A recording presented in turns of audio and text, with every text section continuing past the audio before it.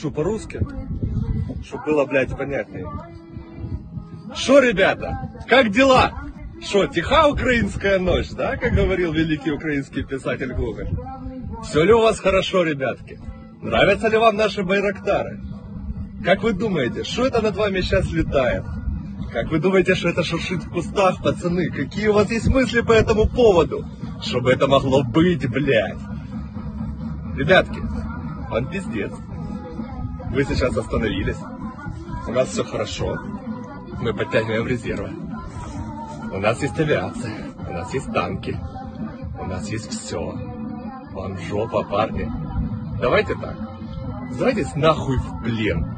Пока есть такая возможность. Многие ваши уже выбрали этот путь. Он не самый херовый на самом деле. Мы с пленными, возможно, это ошибка, но мы к пленным относимся довольно хорошо. Поэтому сейчас вы стали, а дальше мы начнем вас гонять. И делать мы это будем прямо сейчас. Поэтому используйте свой последний шанс.